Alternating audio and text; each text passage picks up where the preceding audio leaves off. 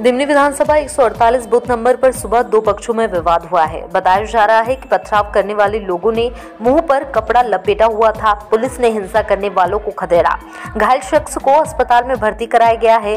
वहीं मतदाताओं के लिए अत्यधिक पुलिस तैनात किया गया है। मध्य प्रदेश में आज 230 सीटों पर वोटिंग की जा रही है। इसी बीच मुरैना से एक बड़ी खबर सामने आई है। यहाँ दिमनी विधानसभा इलाके में दो गुटों में पथराव हुआ है। सूत्रों के मुताबिक कुछ कुछ फायर भी किए गए हैं। हालाँकि पुलिस ने फायरिंग की पुष्टि नहीं की है।